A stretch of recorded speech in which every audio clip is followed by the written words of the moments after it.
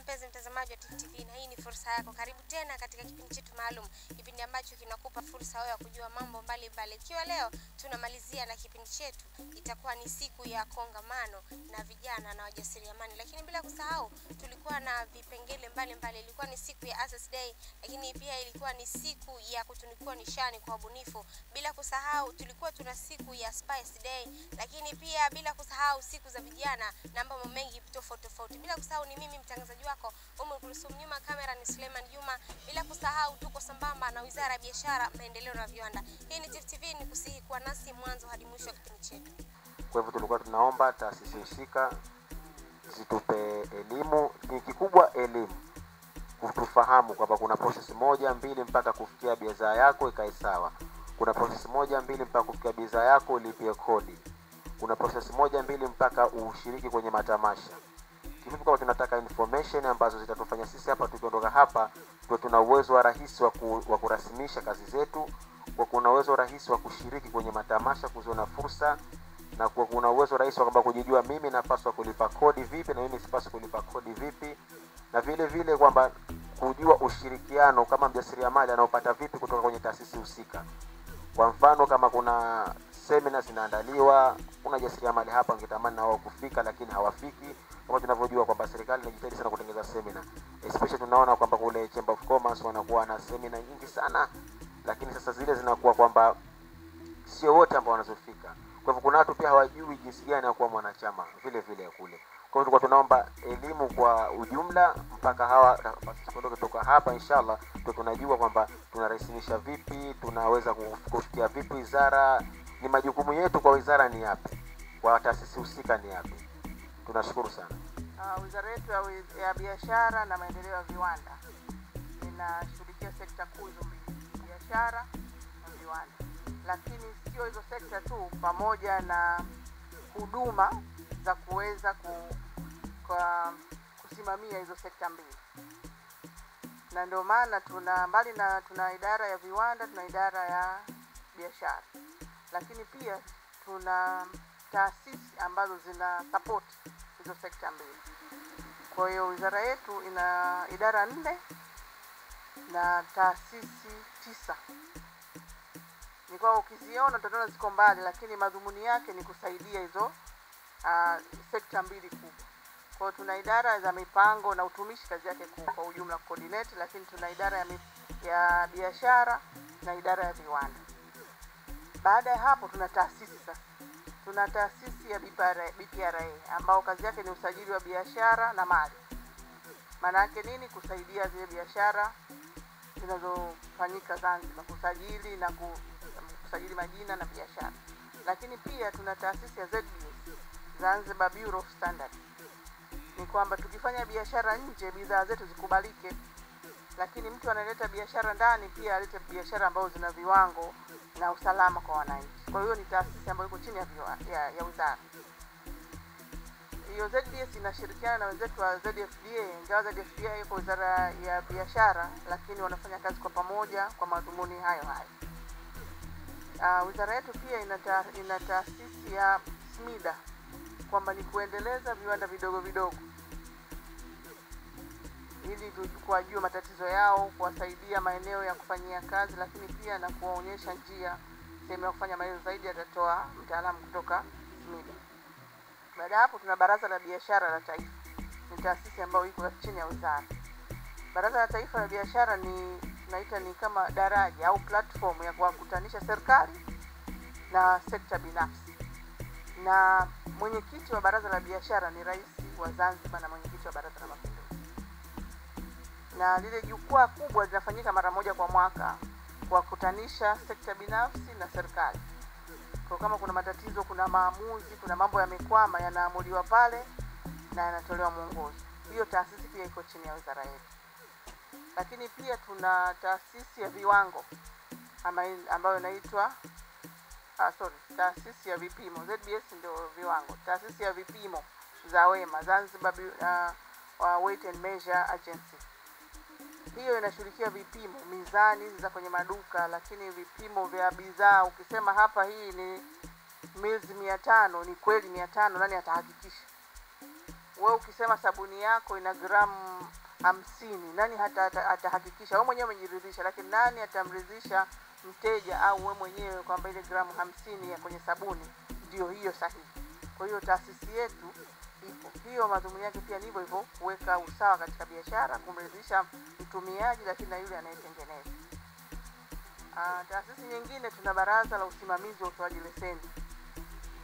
Hili pia kazi yake ni hiyo hiyo kwamba kurahisisha ili watu kuna malalamiko kodi nyingi sijui leseni nyingi. Sasa hiyo taasisi inaangalia zile uh, leseni zinazotolewa na taasisi mbalimbali lakini na utaratibu wake gharama zake kiasi gani ina, inaziangalia na kuzipitia tena. Hiyo taasisi pia iko chini ya wizara ya biashara na maendeleo. Kwa ukitizama hizi taasisi kwa ujumla zote zina zinasaidia ile biashara na viwanda. Lakini tuna taasisi ya biashara pia na sisi wenyewe ZSTC ZSTC mnaona ni shirika kubwa liko lakini lina liko chini ya waziri wa biashara na, na maendeleo ya viwanda. Kwamba naye anafanya biashara lakini kusaidia nchi kwa ujumla kwa yale mazao ya kimkakati na kama kwa sasa hivi anashughulikia karafuu lakini pia ameanza kununua mwani. Kwa hiyo ni pia iko taasisi chini ya wizara ya biashara. Kuna ya, kuna taasisi ambazo zimeanzishwa hivi karibuni uh, tume ya ushindani halali wa kibiashara. Maana yake ni hiyo taasisi ni Zanzibar Fair Competition uh, Commission. Na yenyewe pia ni kumlinda mtu kwamba wewe umekuta bidhaa umeenda dukani nakuta bei imeandikwa bei hawajaandika bei. Alafu ukiuliza nakwambia bei anayotaka madhumuni ile taasisi kwanza kuangalia bei inayopangwa ndio aliyoiweka pale ndo anakuuzia kwa uhakika. Lakini pia inapitia mikataba ya kibiashara wewe unaingia unaenda kukopa benki. Ule mkataba wasije wakakudhurumu au wakajidhurumu waka- au benki. Kwa hiyo pia inapitia mikataba. Lakini pia inaangalia bidhaa kama zimepitwa na wakati wewe unaona zote pia zinarudi kwenye biashara na viwanda. Pia katika baada ya fair competition lakini pia kuna uh, baraza la ushindani ambalo lenyewe kama zile kesi za kibiashara kama uh, tume imetoa maamuzi lakini mfanya biashara hajaridhika basi anaweza kuapil kwenye hilo baraza akaenda kukata rufaa kwenye baraza la biashara sasa ukiona kwa hiyo biashara eh, wizara yetu ni pana na imeangalia maeneo yote ambayo mfanya biashara au serikali maanake hamna mmoja anamuumiza mwenzie. Ndio nilikuwa nataka kutoa huo uelewa kidogo tu, tuweze kufanya. Lakini pia tunafanya kazi na taasisi nyingine nyingi. Hiyo inaweza kuwa kesi ni ya kibiashara lakini pengine inahusu uwekezaji. Zipa kwa hiyo pia tunafanya kazi. Inahusu ardhi tunafanya pia na wizara ya ardhi. Inahusu uchumi wa bluu. Kwa hiyo tunaweza kukata cross kwenye hizo wizara zote. E, BPRA ipo kwa mujibu wa sheria au tunasema kwamba imeanzishwa kwa mujibu wa sheria e, sheria namba kumi na tatu ya elfu mbili na kumi na mbili. Ni sheria ambayo imeiweka rasmi BPRA katika kutimiza majukumu yake ya usajili biashara na mali. Na vile vile e, BPRA kuna sheria nyingine ambayo ndiyo lengo kuu katika katika miongoni mwa kazi zake. Tunasema kwamba e, usajili wa taasisi za biashara. Ili ndio kazi kubwa ya BPRA e, kuna ishu nyingine ya usajili wa mali sawa eh? lakini vile vile kwamba kuna eh, ndani yake kuna eh, sajili ndogo ndogo.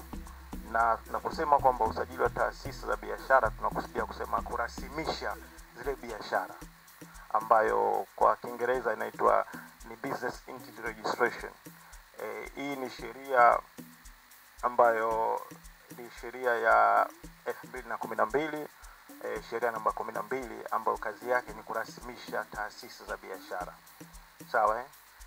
na katika hapa sasa ndani yake katika hizi taasisi kuna sajili ndogo ndogo nyingi ikiwemo usajili wa majina ya biashara lakini vile vile kuna usajili wa wa makampuni sawa. Lakini vile vile kuna eh, eh, kuna sajili za mali bunifu ya intellectual property sawa ambayo hizi ni sheria ya mwaka elfu mbili na nane eh, sheria namba namba nne ambayo kazi yake ni kusajili mali ya ubunifu. Of course katika forum hii kidogo itakuwa inawagusa zaidi nyinyi wajasiriamali sawa. Lakini kuna sheria nyingine ya usajili majina ya biashara au business name. Sawa. Sasa humu mote nyinyi kama wajasiriamali inawahusu kwa asilimia kubwa sana. Na nilisikia hapa nilipokuja moja ya changamoto ambazo wajasiriamali wengi wana face ni kuto kujua wapi waanze katika biashara zao. Ni kuto kujua nani wamfuate katika biashara of course mwenzangu hapo asmida atashaelezea sana sana sana maeneo yani changamoto za wajasiriamali. Na ukiziangalia kwa upande mmoja upande mwingine zinafanana kwa asilimia kubwa. Sasa tukianza na na usajili wa majina ya biashara ambao huu una upo aina mbili au unategemea kwamba kuna biashara ya mtu mmoja au tunasema kwamba sole proprietorship, eh, sole proprietorship ambayo ni mtu tu mwenyewe mmoja ana anania au ana lengo la kufungua biashara yake kwa umiliki wake mwenyewe kutoshirikiana na mtu mwingine yoyote yani yeye kama yeye. Sawa eh? lakini vile vile kuna usajili wa mtu zaidi ya mmoja. Yani labda mtu na mtu wamekubaliana wamekaa pamoja wana wazo ambalo linafanana bwana tufanye biashara fulani kwa hiyo wakaja pale kurasimisha ile biashara yao au tunaita partnership sawa ni sajili ya ya mtu zaidi ya mmoja. Sasa hizi zote zina utaratibu wake. Na katika partnership kuna kuna ziada ya taarifa ambazo lazima ziandaliwe. Of course inaandaliwa eh, kwa mfano kuna hii partnership deed ambayo hii ni kama ni kama makubaliano ya kimkataba baina hao hao watu wawili. Vipo wataendesha biashara yao. Vipo watatoa pesa. Pesa wataika wapi? Nani atasaini? Kila mmoja na sehemu ngapi ya umiliki. Ndio hiyo partnership deal. Ambayo hii inatengenezwa na mwanasheria ambaye a- amekuwa qualified katika masuala ya sheria na anajua kuziandaa. Ikimalizika hapo atakuja ofisini kwetu. Na sasa hivi tuna discourage sana watu kuja ofisini kwa sababu tayari tuna mfumo. Nadhani wengi wenu mnaujua e, ni mfumo wa usajili biashara e, biashara kwa kutumia mtandao. Huu ni online base ambayo mtu popote alipo ndani ya zanzibar hata nje ya zanzibar anaweza akakaa aka akasajili. Lakini tu kuna kuna limitation na hasa kwa business name hizi business name, sana zinakuwa ni kwa wazawa yani watu wa zanzibar tu au ambao wapo hapa ndani ya zanzibar. Sasa hapa kidogo ndio kuna hiyo limitation ya, hii business name. Sasa mtu anaweza akaingia katika website yetu pale kuna kuna link ambayo tumeipa jina ya online registration. Ata click kama yeye ni mtumiaji wa kwanza au ni mtumiaji mpya atakwenda katika ile link ata click ata create account yake mwenyewe. It's the same kama anavyo create account yake ya email.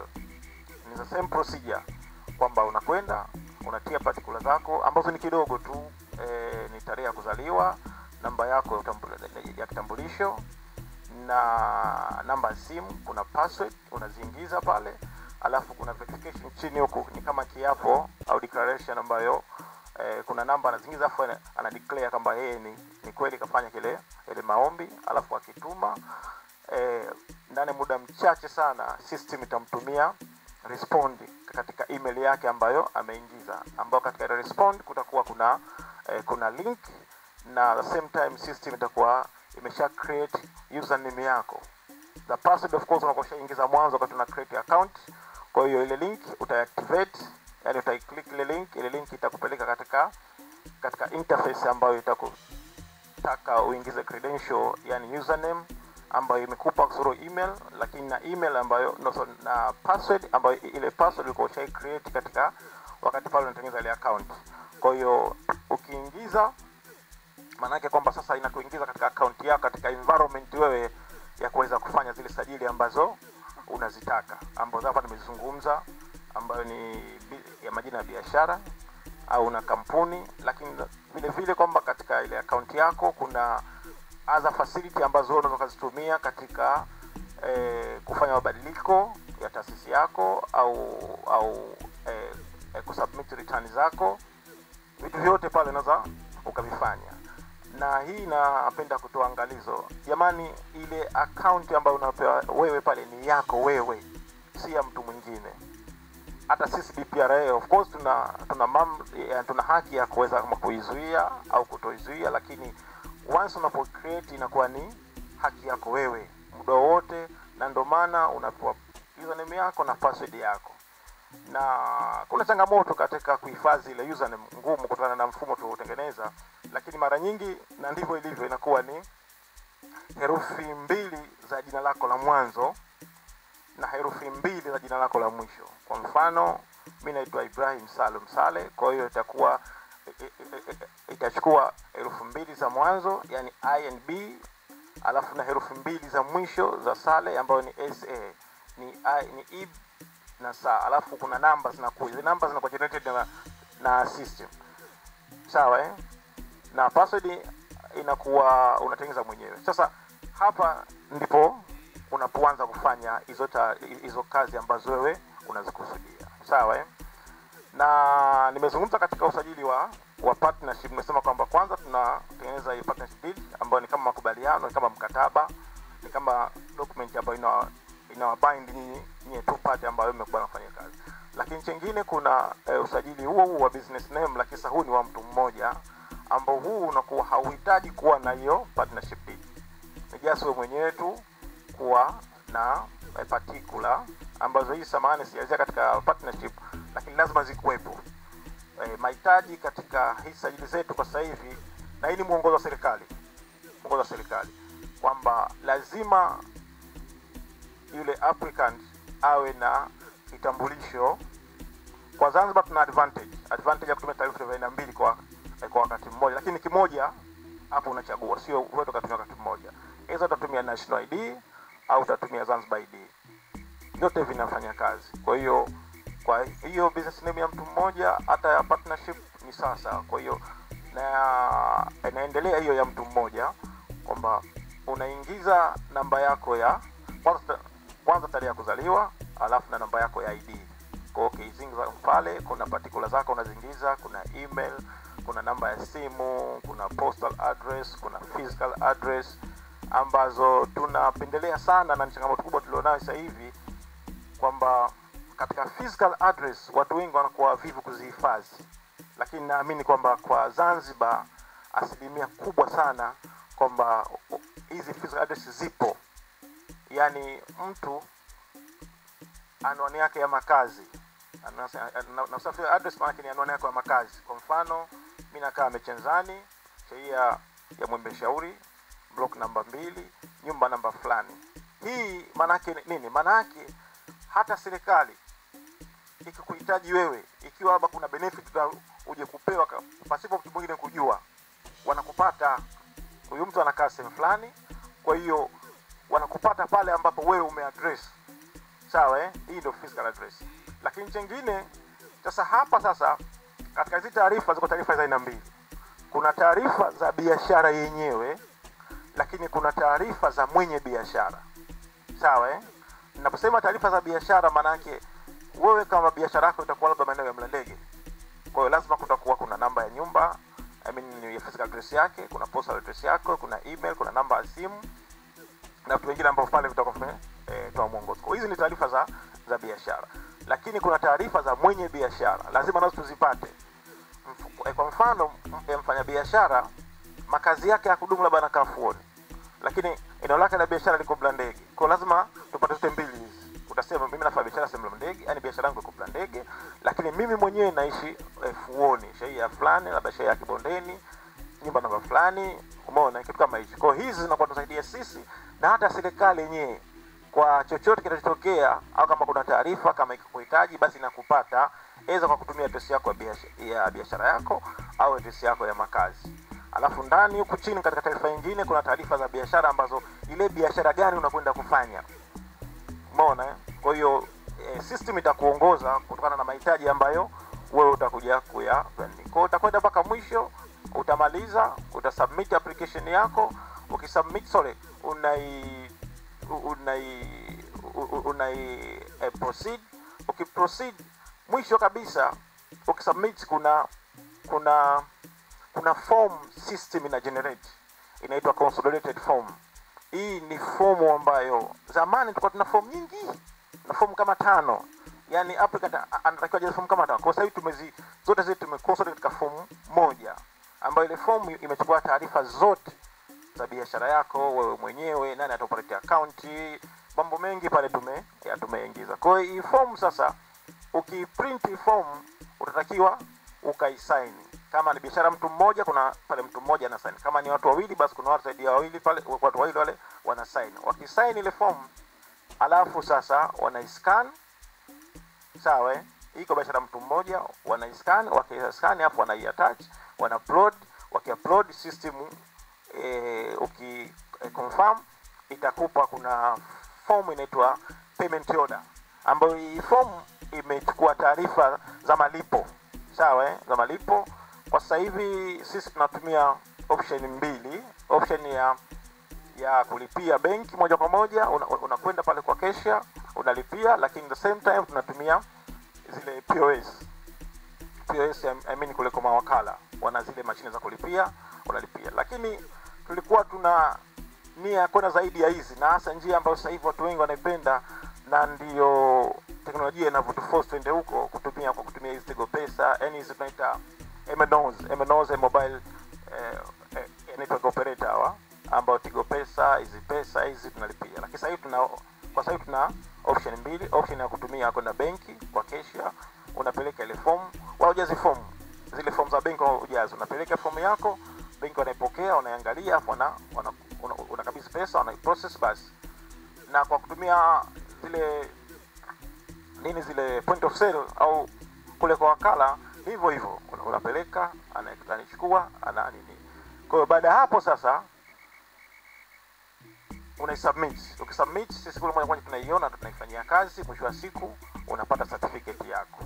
Tofauti kidogo katika business name katika partnership sasa huku katika zile ile form ya consultant form. Inapokuja of course nategemea mkoa ngapi. Kama mkoa hili utasaini wewe, lakini vile vile ukisaini uta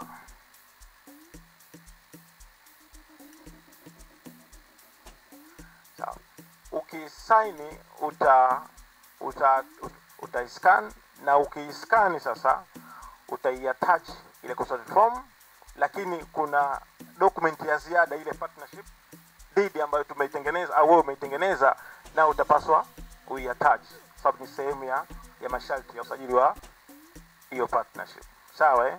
ukiattach system itakupa hiyo payment order alafu utakwenda kulipia benki kwa hizo njia mbili ambazo zimezungumza sasa hapa kwenye bei kwenye bei kuna tofauti baina ya bei ya ya, ya partnership yani eh, e, biashara ya ubia lakini na na biashara mtu mmoja. Katika biashara mtu mmoja unalipia shilingi elfu kumi na tano tu wala hakuna ziada yapo, sawa eh? only elfu kumi na tano. Lakini katika partnership hapa unalipia shilingi elfu thelathini na tano ni kama ya gharama usajili. Lakini kuna kuna gharama ambayo sio yetu ya wewe mwenyewe pamoja na mtu ambaye atafanya ile partnership deal. Sawa eh? Nadhani hapo tu hapo tuweke ya tuweke vizuri. Kwa kuna kuna biashara mtu mmoja ambayo elfu kumi na tano na yuko shilingi elfu thelathini na tano. Sawa. Nadhani hapo tuko pa tuko pamoja. Lakini sasa kuna sajili nyingine sajili ya ya kampuni. Sawa eh? ina hii hapa kuna tofauti kidogo.